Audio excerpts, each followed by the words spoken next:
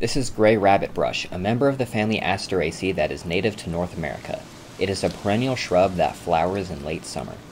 The plant grows as a woody bush with low-lying, spreading branches covered in grayish-brown bark. The younger upright stems are soft with a coating of fine grayish hairs. The leaves are straight and narrow, dark green, and covered in extremely fine hairs that give them a gray hue. The plant produces clusters of flower heads at the terminal ends of its stems. The flower heads are composed of five distinct, bright yellow tubular flowers that have long, thin anthers that protrude from the center. After pollination, they will produce tufts of hairy, wind-blown seeds.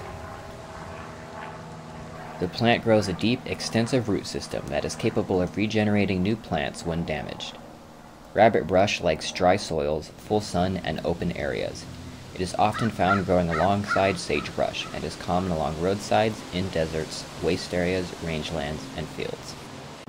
The plant is edible and is an important source of food for several wild animals, but is of little value to livestock.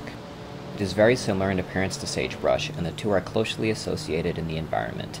It can be distinguished by the shape of the leaves, stems, and flowers. There are two subspecies and several varieties of rabbitbrush found throughout North America, which are nearly identical to each other. Gray rabbit brush plays an important role in soil stabilization and is not usually a very aggressive weed, as it spreads and grows rapidly but is usually easily outcompeted.